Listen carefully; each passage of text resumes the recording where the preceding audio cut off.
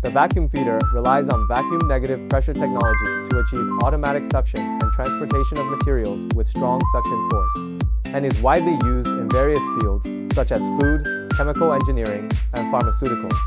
The equipment has significant advantages, high efficiency, turnover, equipped with an intelligent, rapid loading and unloading system. It significantly reduces the material turnover time, and the production efficiency can be increased by more than 30%. Clean sorting, by adopting high-pressure air reverse blowing separation technology and combining it with a fully enclosed pipeline design.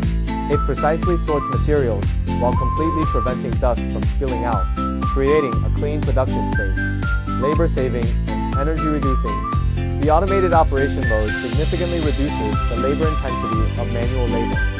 Intelligent material control technology effectively keeps the waste rate of raw materials below 1% the vacuum feeder has successfully achieved a triple upgrade of efficiency improvement, consumption reduction, and cleanliness for enterprises, and is the preferred solution for efficient material transportation in modern industry.